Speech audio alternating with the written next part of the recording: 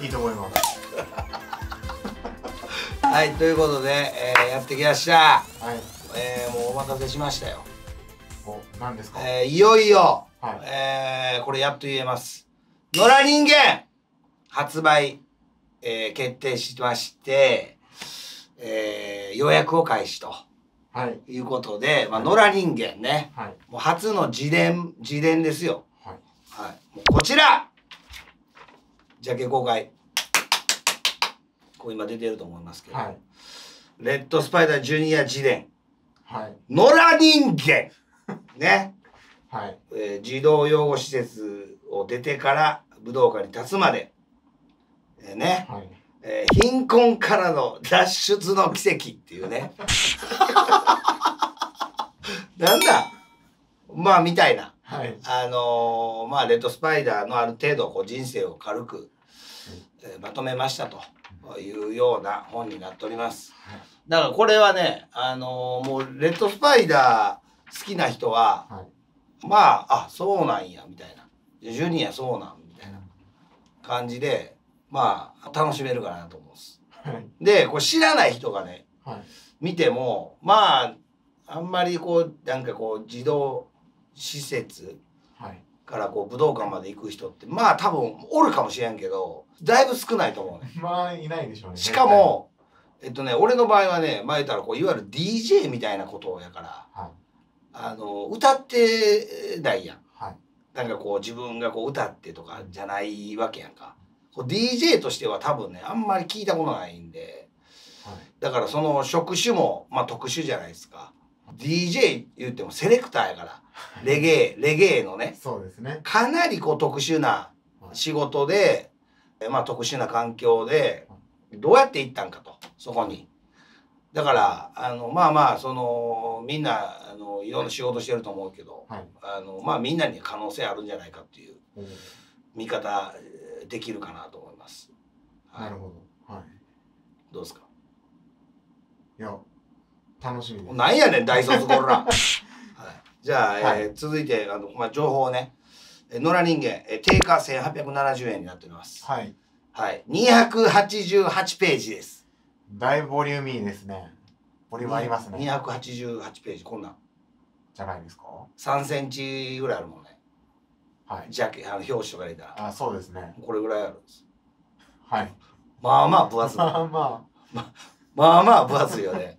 ちゃんと文庫本ですね。えーで、まあ、発売日が一応ね、あの、はい。8月10日っていう予定やったんですよ。これ、はい。ひょっとしたら、あの、動画でも言ってたかもしれないですけど、8月10日っていう予定やったんですけども、あのね、まあ、言い訳じゃないんですけども、はい。あの、まあ、お盆前っていうのがあって、ああの、印刷屋さんがもう異常に混んでるっていうなるほど。こともあって、ほんで、まあ、お盆もあるやん。はい。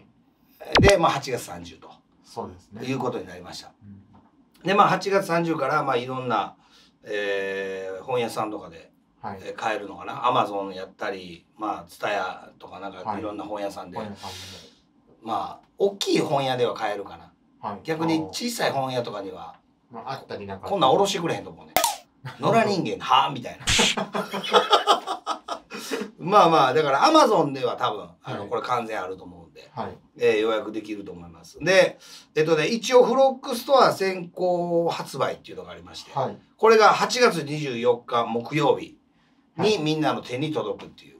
うことです、えーでただこれ先行予約してもらわないとダメということでですね。えーなんと今日の、はい。えー7月28日今日、はい。えー19時から、えー8月1日の、えー19時まで18、はい。正確には18時59分まで。はい。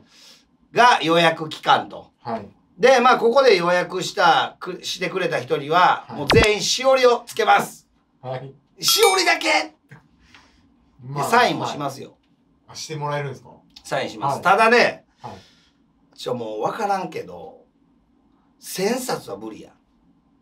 まあ検証になっちゃいますからね。だから、えっと、300名限定ということで、予約してくれた中から300人はい選んで、えーサインさせてもらうっていうはいことで、いいですか？いいですか？いいと思います。はいだから299冊しか予約券があったらもう全員ゲット。全員ゲットですね。はいはい。だから1000冊とか来たらちょっと漏れちゃうから、三人に一人ぐらいな。ははいでもね、俺の予想ではまあ、えー予約してたらまあもらえんじゃないかな。300冊ぐらい。い。ね、3、5冊しか売れへんかもしれんからね。こんなはい300限定やでとか言うといて、はいえ、10冊しか予約けえへんやんとか。ぶっちゃくちゃ恥ずかしいことが起こるかもしれんっていう。はい。はいえーなので、まあ、あの、欲しい人は、はい。もう今日ね、あの、フロックスはリンク貼っときますんで、はい。あの、そちらの方飛んでもらって、はい。えー予約ポチッとはいしてもらったらいいかなと思います。はい。はい。で、これ、あの、サインのね、宛名はもうちょっとね、はい。えー例えば、あの、国士、はい。ビゴップ、レッドスパイダーみたいなね、はいあのそういうのなしで、ね。もう、もう俺のサインピュッてやるだけで。はい。あの、みんなの名前やってたらもうマジでこれほんまにね、終わんないんで。終わらなくなっちゃいますね。で、まあ、ご注文数1冊につき、はい。えー抽選回数を1回とさせていただきますということなので、まあ、5冊とか10冊とか買ってくれる人、まあ、中にはいてると思うんですけど、はい。まあ、買ってもあの1回の抽選券っていう5冊買ったら5回。あ5回つくの、はい。ない？おい！そうやった。ん、あじゃあはい10冊買ったらもう10回10エントリー口になるんで、あじゅあそういうこと？だからちょっと当たりやすくなる。ああそういうことね。あじゃあ10冊買うって人おったから。その人はもう 10回チャンスがあるっていう。はいあります。ああなるほど、はい。ということでまああのサインを一応、えーフロックさんではい。あのもらえるということなので、はい。えー今日の19時ですね、あのもう予約してますので予約開始してますので、はい。えーぜひ皆さん手に取って中卒が書いた本を、えー大卒の皆さんたちが読むっていうね面白い状況を、でもまあまああの笑いあり涙あり、はい。えー怒りあり。怒りはないか、はい。まあまあ楽しんでもらえたらいいかなと。思います。ねまあ緊急事態来る人とかは特に見てたらまあちょっとまたちゃう意味で楽しめるかもしれないですね。あのイベント来た時に、えー、その一曲かける時の意味合いが多分変わってくると思うね、なるほど。うん、そのある程度俺のバックボーン分かるわけやかああ、はい。ら例えばあのーミキ君の大仕事かけた時の。はい。どういうことを思ってたのかみたい何言うてんのおな。前意味合いが変わってくるやんはい。その俺のそのバックボーン知ってその大仕事をかけてる時の。